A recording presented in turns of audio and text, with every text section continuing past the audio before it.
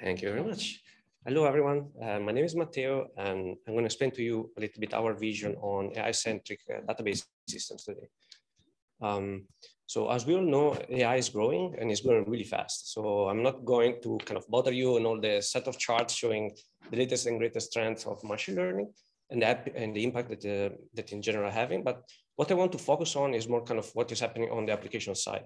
So uh, we're starting to see new class of application uh, popping up that leverage uh, machine learning. So example of these are um, like smart agriculture, video analytics, uh, brand recognitions, et cetera, et cetera. Um, and of course, these new uh, class of applications, uh, they're also having an impact on the database themselves, right? So we're starting to see kind of support, for instance, like um, um, BigQuery lately has other support for uh, structured data. They use machine learning to basically read the unstructured data from the uh, from the lakehouse. Um, other example are kind of there are a bunch of startups that start to explore this data as well, such as video analytics, uh, vector search, or even Activeloop uh, later on. It, uh, I think they have a, they have a talk uh, after me about like a deep lake and what they're going to do. So um, uh, what I'm going to explain to me is kind of uh, explain to you basically is uh, uh, kind of a little bit what, what is happening in this next generation uh, uh, data-driven application um, and what makes them different than what we had before. So in my opinion, these are kind of three of the main aspects that make them a little bit different. So support for multimodal data, so image, videos, relational as well, um, tight integration and interoperability with machine learning. And of course, you want to have performance since you are reading images and video, you also need to have hardware acceleration somehow. Um, our claim is that building uh, such a system is, uh, is actually quite hard. And the reason are the following. So um, uh, starting from the multimodal data, there are not really many relational databases nowadays that support images and videos. And also, if you look at the other way, so if you look at specialized systems, they actually go in the relational ways. They're starting to add like a, what they call scalar queries, so pretty much a SQL support. Um, if we look at the integration with machine learning, mainly what we see is that we are trying to implement some machine learning features inside SQL, or we are basically adding UDFs, so try to call into machine learning runtimes through UDFs within SQL. Um, related to hardware acceleration, as far as I know, most systems, they basically only focus on one single stack, which is basically the NVIDIA stack, and they completely disregard all the other hardware vendors. And this, of course, kind of being Microsoft is not good for like, you know, uh, for the platform point of view, because we pay a lot more for the NVIDIA GPUs at this point. Um, let's do a step back now and look at a different class of systems. So uh, this is what I call, I call them like a tensor runtimes. Uh, think about them like a the kind of you know well-known machine learning frameworks such as PyTorch, TensorFlow, and, and so on. So if you look at them, they uh, support already multimodal data. Basically, they have this nice tensor abstraction, and they have a bunch of libraries such as Torch Vision, Torch How, they just allow you to load all the different modalities into, into tensors uh, representation. Um, they have native support for uh, hardware acceleration, and they're able to achieve this because there's really large open source community and they have and hardware vendors are directly involved with these uh, large communities. Um, about the tight integration with machine learning frameworks, they basically have machine learning capabilities embedded directly into the system uh, and in the language itself. Think about automatic differentiation, for example.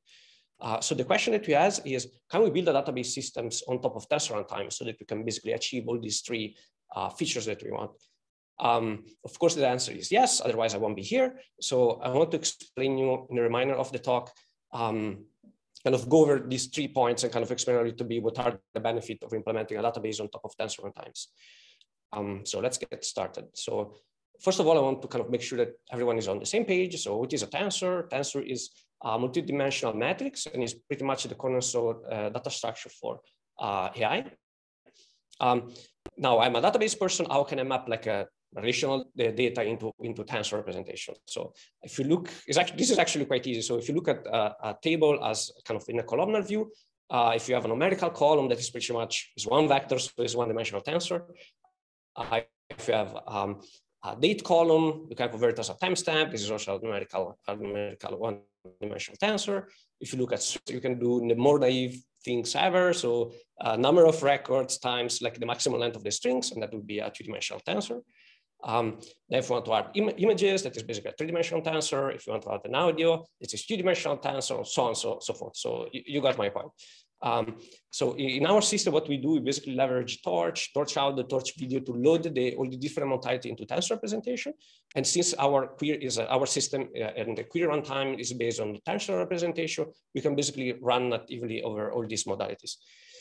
Uh, what we did is actually with subclasses, the, the, the tensor, uh, the, the tensor in PyTorch, we have what is called the encoded tensor because we want to kind of get close a little bit to columnar databases. So no one pretty much tried to use like a plain encoded data in a columnar database, we try to do lightweight encoding. So we tried to go in that direction. So we started to add dictionary encoding, uh, encoding, bit packing, et cetera, et cetera. So we have these different classes of uh, encoded tensor now. Um, we added this probabilistic encoding tensor and I will explain a little bit in a moment how does it work, but it's basically the type of encode that allow us to go from, for instance, from images to some structured representation that you can feed into a SQL query. Okay, so now I'm gonna show you a demo. Now we can do SQL on images. So I was supposed to do this live, but um, the connection is quite bad. So I recorded a video and I will try to talk over the video. Let's see if I can hit this. Uh, okay. All right. Um, so we're going to try to do some SQL over images. And we have three steps here. So initial setup, and then we're going to do some natural language query over SQL and top K image search. Um, the first things that we do is the, we import our system. So it's a kind of embedded uh, database. So you just do pip install and you kind of uh, access our feature. Then we import Torch, Torch Video because we're dealing with images, a bunch of uh, machine learning uh, transformers models, Clip in this case, and then we use matplotlib because we want to kind of show, show the image as we go. Um, next, we're going to use Torch Vision to kind of load the data from, from disk into memory as a, as a, uh, as a, as a tensors. Uh, and we use the data, data loader class here. So we have a data folder that contains three subfolder with different type of images. So in the first subfolder, we have 50 kind of random, random images. Uh, the other subfolder, logos, we have 50 loggers, and the next one is just 50 uh, receipt. Okay. Then uh, next, we're gonna show that kind of we can load the images and we can print the images in a notebook. Next, we're gonna uh, register the data loader into our database system and just give a name as a kind of attachments uh, table. Um, then we're going to load the OpenAI pre-trained model. We use Clip here that allow you to map uh, natural language text to images. Then we have a UDF. So we register UDF. We use kind of Pythonic way. So just an annotation on top of a Python, uh, Python uh, functions. And we provide the data type. So we have like a test query and then images. It is a bunch of tensors. And what the UDF does, it just kind of, you know, return the score given the text and images, it just return a score for that one. Okay, let's start with the query. So here we're going to do use UDF to kind of uh, see, uh, filter all the receipt images. We just uh, are going to count how many of them we have. So TQP works that we first compile a query and then we, we execute it. We can return in different format. In this case, we return a pandas data frame as a result. Uh, the result is 50 just because we have 50 receipt. Next, we're going to have a more complicated query. We're going to look for mountains uh, at night and we're going to return the actual images. Uh, same thing. So we compile the query, we execute it. This time return a NumPy, NumPy array. And we should have around uh, seven images. Uh, we just print one of them which is kind of close to, to mountains. Uh, for the TopK one, we basically try to look for KFC receipt. So it's a limit order by query in this case. Um, and as you can imagine, we have a KFC receipt in our, in our dataset. Uh, of course, we also change, it's just kind of, you know, is you can change whatever and put whatever you want there. So here I'm gonna change the natural text uh, uh, uh query and try to look for birds on the, on the beach. And of course, we have an image with birds on the beach there. Okay. Okay, so let's move to point two, hardware acceleration. So uh, the platform that we're building, we call it Tensor Data Platform. And our idea is that we basically, we should be able to support like different modalities, as I show you, and different type of computation as well. So neural networks, classical machine learning models, such as decision trees, SQL, graph, et cetera, et cetera. So we're building a common tensor runtimes, uh, a library that is able to allow us to kind of go from the modalities and the different computation to tensor runtimes such as PyTorch. Our acceleration can, basically comes for free. So since we can kind of execute everything on PyTorch, uh, we basically can execute on any hardware that PyTorch supports. So PyTorch supports CPU, GPU execution on NVIDIA, AMD, M1 GPUs, TPUs, etc. So just by building a database like this, we can basically run query on any hardware supported by PyTorch. Um, interesting things is 100% Python. Um, so this because just we leverage PyTorch for do the heavy lifting and the uh, efficiency uh, and stuff. Um, we haven't uh, uh, worked on all of these points, uh, so we're mostly focused in, in, the classical machine learning inference component. It's called a Hummingbird. It's actually open source. You can go and play with it. And on the SQL component, which is called Tensor Query Processor, uh, we presented it at VLDB last year. So I'm not going to go too much in details there. What I want to point out is that the performance are quite, are quite good. Uh, so in this case, we run TPCH factor 100 on an A100 GPU. We compared with other CPU systems, Spark, SQL Server, DuckDB, and the only GPU database that, as far as I know, is able to support TPCH. Um, this machine is a 32 core CPU machines uh, where we run these other systems.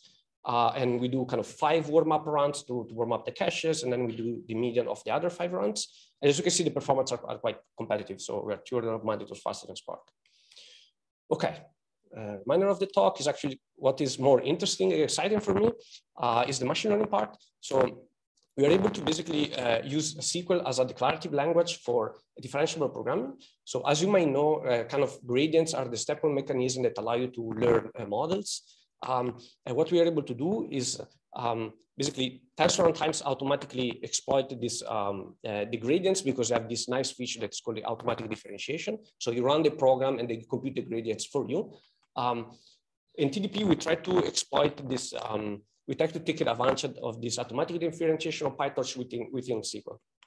So basically what we added is the concept of trainable user-defined function and table value function.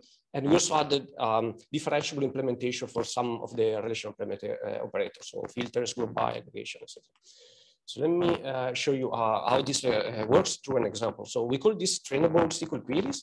Um, uh, so these are basically SQL queries that, that mix together uh, uh, machine learning with relational operators. So let's assume that we want to do this kind of task. So we have images, an image with a bunch of numbers, and, and these numbers have different kind of sizes, small or, or, or, or, or large. And what we want to compute is kind of the count of how many of these image and size that appears in the, in the um, uh, or the digits appear in the image. And you kind of think that you can express this as a SQL query in this way. You just do group by digit size, and you do kind of a count on top. And use a, a TVF to kind of map the the images into something that the SQL is able to, uh, uh, is able to understand. So let me explain a little bit how does this work internally. So we have our query, we have our image. Uh, we use the UDF uh, to basically, uh, the UDF contains two CNN models. So one for the digit parsing and one for, the size parsing. This is actually kind of simple models. So basically, and, of we, and these models allow to go from kind of images to some tensor embedding that is able to, under, to, to be understood by SQL. So this is kind of quite intuitive. So that basically means that the first number, 90% probability is a five, and the first number, 80% probability is large, okay? Then since our uh, uh, SQL engine is able to understand tensors, is able to understand this kind of encoding, so we, we added uh, a soft implementation of some of the operators. So in this case, a soft group by and soft count. And they basically allow us to, to basically combine the neural network parts, all these uh, CNN things, with the database operation, it is able to do everything end-to-end -end differential. Um, if you want to do this in a pure natural kind of deep learning way, you basically will build a kind of a, a, big neural network that is able to do all of this together. And this kind of has several disadvantages. So you cannot, for instance, separate kind of the digit classification and the size classification from the computation of the aggregate and the group by. Uh, you cannot generalize over different tasks because that is exactly the kind of CNN that you're building there. And um, and basically the neural network have to learn from scratch how to do kind of counting a group byte, which instead we know how to do it, right? Um, and as you might expect, the performance are quite better compared to a, not uh, just a neural network approach. And here we compare against just a, CNN that has a similar number of uh, parameters as our trainable query. It was compared with a big, uh, a bigger um, CNN model uh, that has like around uh, 11 million parameters. So you can see we can train much, much faster. Just because basically we injected some, some additional information on the um, thanks to the query, basically how to do group by and count, and the neural network only need to care about uh, learning how to do digits uh, and size uh, um, extraction from the images. Um, also allow us to do uh, basically to express what in the literature is called as uh, neurosymbolic systems. And it's kind of a nice way because so far all the neurosymbolic literature is focused like Prolog and Datalog that no one's want to use, as we all know. And this eventually will allow us to kind of make a little bit more, uh, you know, neurosymbolic system a little bit more popular. Okay, uh, summary. Um, the space of AI uh, powered databases is eating up. Uh, this is pretty much because 80% of the data is unstructured over there. So uh, machine learning allowed to unlock all these kind of access to this 80% of the data. Um, we think that AI-centric database could be a leap forward in this direction. We, uh, we kind of piggyback on the billions of uh, dollars that have been poured into hardware and software for, uh, for AI. Uh, we added multimodal support. We do similar integration with the newest and bigger machine learning models. Uh, we also introduced some new query paradigm that are kind of interesting, such as trainable queries. looking forward, there are many interesting things that we are exploring. One of them is that since we are building uh, a set of uh, database operators, we can basically build a TensorFlow, uh, TensorFrame API on top. As you can imagine, this is basically a data frame API on top of our Tensor uh, runtime. And basically this allows you to surface all these features also to the Pandas user. So uh, we think that we can support, provide to Pandas user like GPU acceleration, differentiability, um, and multimodality as well. Uh, and we are a little bit exploring how these trainable queries can be used in the machine learning domain.